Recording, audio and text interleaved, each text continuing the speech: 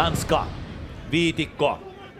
Ja pikkuhiljaa jälleen kaikki pelaat KPVn kenttäpuoliskolla. Kun pallo on Lagerblom ja hän näyttää mihinkä tulee, mutta antaa pallon aivan toiseen suuntaan. Selkeä Josu ja ärhäkkäästi Amione. Josu! Ja nyt tulee Josu laitaan Amione. Ja Erinomainen Amione keskitys. Ja sieltä haetaan sitten tilaa Josu! 1-0!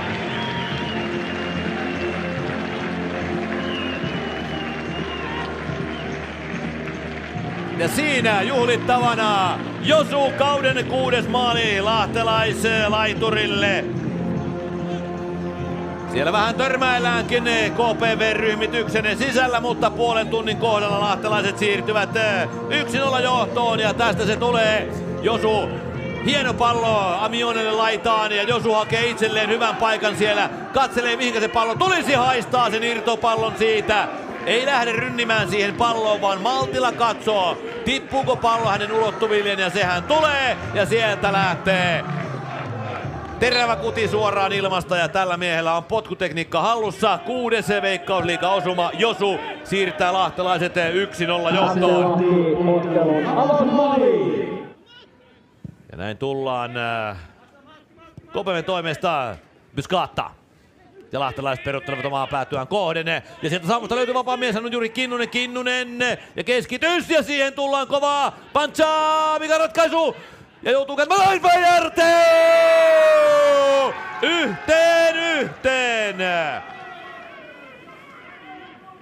Ja hänen kanssaan juhlimaan kulmalipulle Bantsa, joka malttaa mielensä tuossa tilanteessa. Yhteen yhteen voidaan sanoa, että ansaittu tasoitus vihreävalkoisille. Rakowski voimaton. Tässä näin Bantsa. Hän malttaa mielensä. Tässä näette sen vielä. Kinnunen löytyy fantastisella syötöltä. Siellä murtosyöttö Kinnusen oivallinen keskitys Bantsa. Ja hän malttaa mielensä. Katsoo, mistä löytyy vapaa mies. Sieltä löytyy taustalta.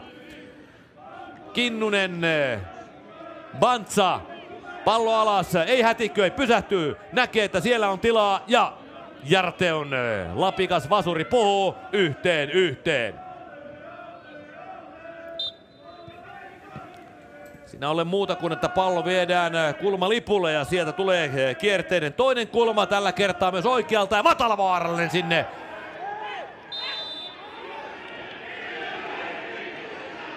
Ja sitten keltainen kortti tuossa tilanteessa Rakowskille. Ja katsotaanpa mikä, mitä sitä seuraa. Pallo pilkulle.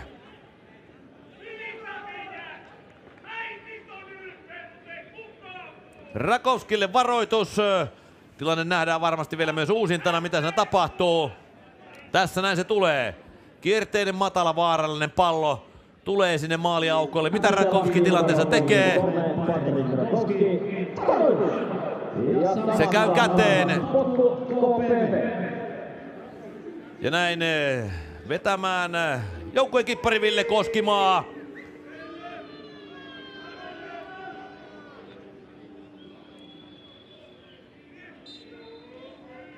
Ja siitä lähtee Koskimaan vetoja. Se painuu varmasti verkkoon.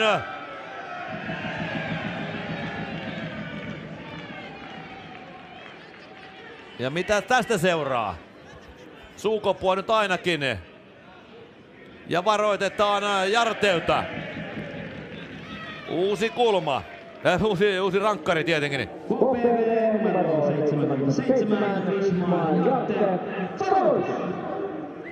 Ja sama mies pallon takana, Ville Koskimaa. Ensimmäinen rankkari onnistui. Jarteu kuitenkin rikkoi tilanteessa varoitus. Hänelle karkasi sieltä liian aikaisin. Koskimaa. Ja kauan tämä nyt kestää. Ja sama kulma. Ja vaikka Rakowski sen aavistaa ja hyppää sinne.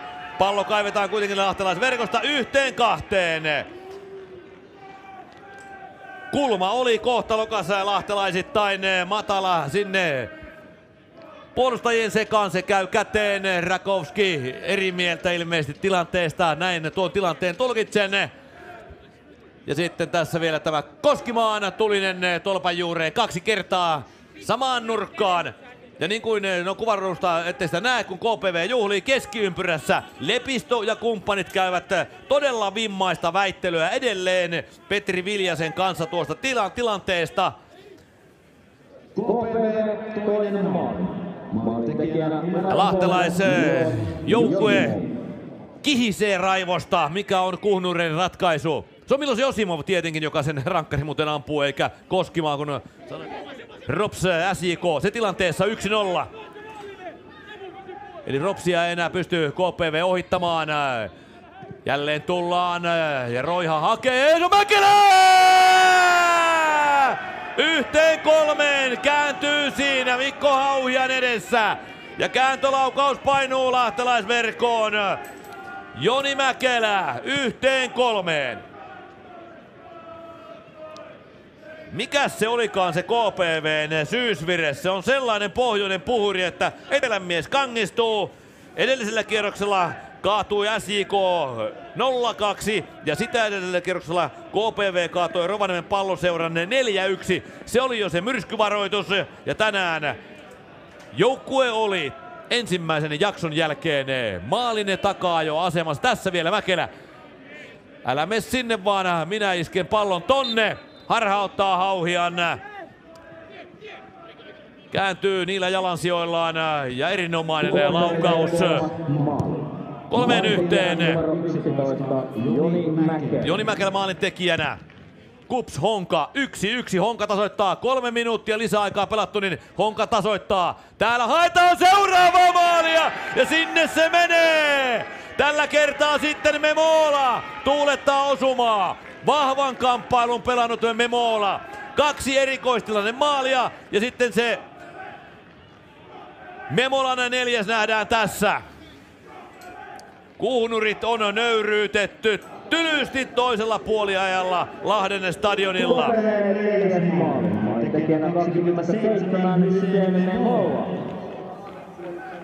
Ja tässä näkyy vielä tuo kulma.